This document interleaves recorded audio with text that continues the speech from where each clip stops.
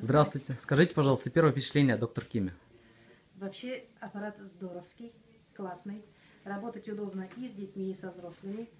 Я лор-врач, поэтому мне удобно смотреть и горлышко, и носик. И не надо дополнительных устройств, что-то иметь в руках, скажем, там э, какие-то фонарики, какие-то осветители. Очень удобно. Спасибо большое. А, ваше первое впечатление о доктор Киме. Наталья Владимировна еще нет сегодня. Очень технологично, очень современно. Конечно, Я конечно. думаю, будет очень впечатляюще по работе. Хорошо.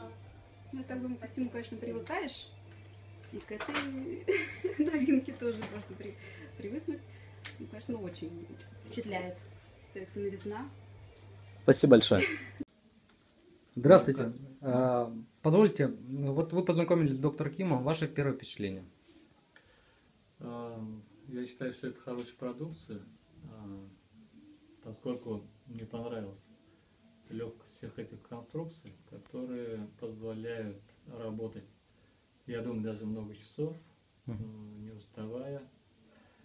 И э, я посмотрел м, оптику, э, то же самое.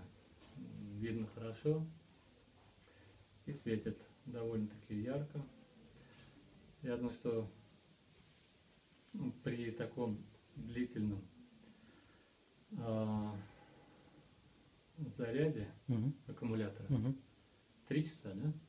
Ну, От 3 до 9. От 3 до 9. Я думаю, что при таком заряде можно э, проработать много часов, э, не отрываясь от работы. Мгм. Что еще?